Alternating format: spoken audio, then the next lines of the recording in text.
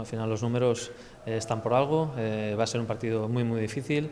Eh, añadimos el hecho de que, de que Levante en, en, su campo este año está haciendo una temporada completísima, de los siete partidos ha ganado ha ganado cuatro, ha empatado dos, ha perdido solamente uno. Entonces, bueno, independientemente de las bajas que puedan tener, eh, va a ser un rival súper complicado y que nos va a poner las cosas muy difíciles. ¿no? El que salga lo va a dar todo. Si es un chaval del, filial, aún más. Eh, va, a tener una oportunidad única de poder debutar eh, con el Levante y en, un derby. O sea que ese, factor a veces al revés es, más motivador que no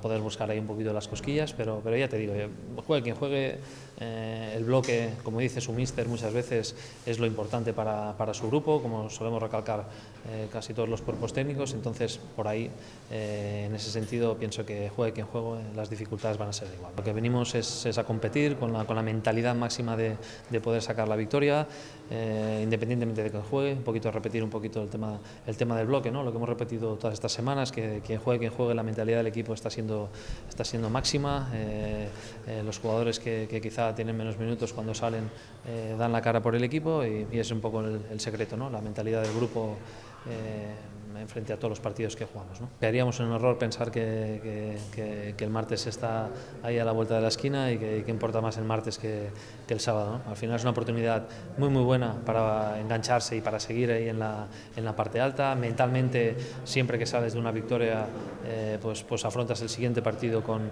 con, con, con, mejor cara, con mejor disposición. Entonces, al final eh, sería un error de, de, nuestra parte plantear un poquito el tema del martes. ¿no? Todos los momentos de la temporada son difíciles. ¿no? Al final, cuando hay puntos en juego, cuando hay clasificaciones por medio, eh, necesitamos de, del apoyo de todos. ¿no? Evidentemente, aprovechando que, jugamos en la misma ciudad, si, si de los nuestros eh, hay muchos, pues, pues mejor que mejor, poder dedicársela a todos ellos, a los que están en casa, y entonces, bueno, por eso vamos a luchar también. ¿no?